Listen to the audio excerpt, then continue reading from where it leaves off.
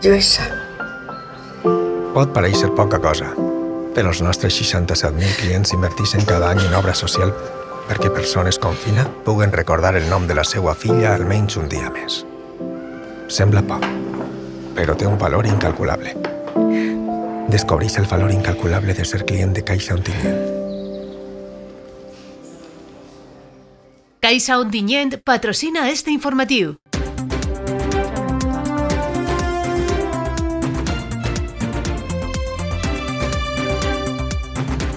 Incendi a Cimat de la Valldigna. Iniciativa pionera per atendre menors expulsats de centres escolars de Gandia. Vora les 12 del migdia, Emergències 112 ha avisat d'una crema descontrolada que ha produït un incendi de vegetació en cimat de la Valldigna. Fins allí s'han mobilitzat dos mitjans aeris, una autobomba, una unitat de GVA forestals, un coordinador i brigada forestal, quatre dotacions de bombers i un agent mediambiental. Dos hores després, sobre les 14 hores, el Consorci de Bombers ha informat que l'incendi es trobava controlat i que ha afectat zona forestal.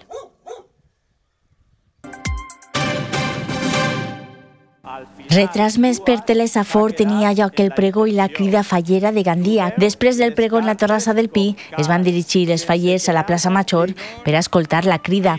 Primer, la de la fallera Major infantil, Daniela Serralta, qui va animar a la participació infantil en els actes, mentre que la fallera Major, Marta Lozano, recordava el valor que les falles d'enguany siguen ja d'interès turístic nacional. Faig una crida perquè seguim omplint la ciutat de fantàstics i meravellosos monuments que fascinem amb la lluentor i fastuositat de la nostra indumentària tradicional fallera. Treball de tants i tants artesans. Un fet destacat per tots va ser la innovació de l'espectacle de música i llums abans dels discursos i que va convertir a la plaça Major, una vegada finalitzats els parlaments, en pràcticament una macrodiscoteca. El regidor de Falles de Gandia, Adrià Vila, assegurava que ha sigut una crida històrica i que ha generat debat sobre l'organització d'aquest acte, que de segur es traslladarà al Congrés del mes de març. I és que les falles ens conviden a unir-nos com una gran família, on les diferències no han de ser un obstacle, sinó el que ens uneix com a persones i com a fallers.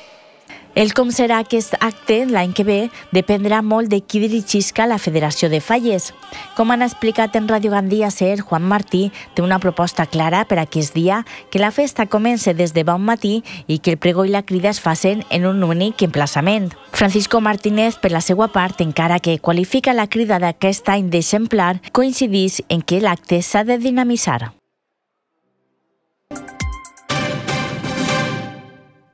L'Ajuntament de Gandia posa avui en marxa la nova aula municipal d'assentisme escolar. Este espai, un dels primers en la comunitat valenciana i en Espanya, té com a objectiu donar suport als centres educatius de la ciutat i als estudiants expulsats durant períodes llargs de temps, buscant així tindre una reintegració satisfactòria després d'un temps de reflexió en els seus respectius centres escolars.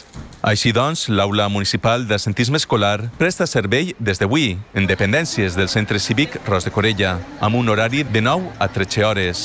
El servei està organitzat i gestionat pel Departament d'Educació, amb la col·laboració de la policia local mitjançant els agents tutors. Cal destacar que fins al 31 de desembre de 2023 s'havien registrat a la ciutat de Gandia 203 casos d'estudiants amb assentisme greu o crònic, el que representava el 2 amb 46% dels casos en la comunitat educativa de Gandia. Sobre este assumpte de l'aula municipal d'assentisme escolar es pronunciava tant la titular d'Educació de Gandia, Esther Sapena, com el comissari principal en cap de la policia local de Gandia, José Martínez Espasa. Ja han finalitzat les votacions dels pressupostos participatius a Gandia.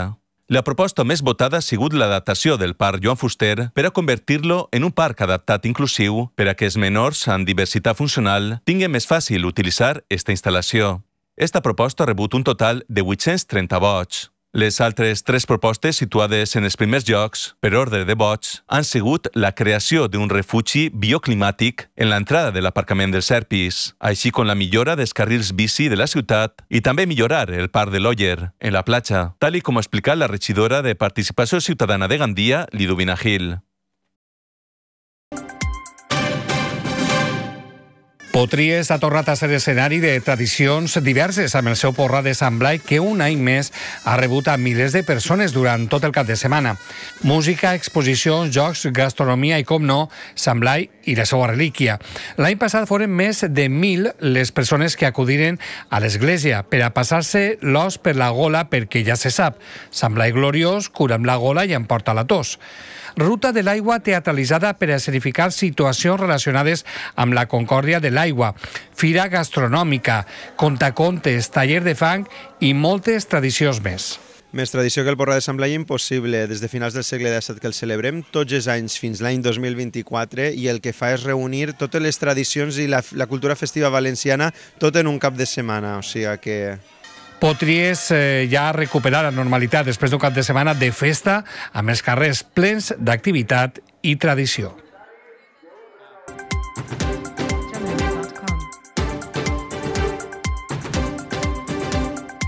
Derrota del Club de Fútbol Gandía a l'estadi Guillermo Laue per 0-2 davant l'Ontinient 1931. Mal partit dels de Sergio Campos que al minut 13 de la primera part encaixaven el primer gol després d'una greu errada. Una inofensiva treta de banda es va convertir en el 0-1 gol de francès. Després del descans, el Gandia va millorar, però una pèrdua en el mig del camp dels blanquiblaus la va aprofitar Cambra per a fer el 0-2. El Gandia, després d'esta derrota, es queda en vuitena posició de la taula, a 4 punts dels jocs de promoció.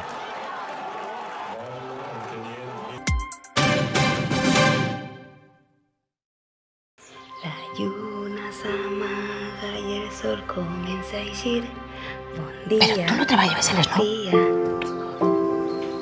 Pot pareixer poca cosa, però els nostres 67.000 clients inverteixen cada any en obra social perquè dones com Anna puguen seguir amb la seva vida laboral com l'havien planejat. Sembla poc, però té un valor incalculable. Descobreix el valor incalculable de ser client de Caixa Ontinyent. Caixa Ontinyent ha patrocinat este informatiu.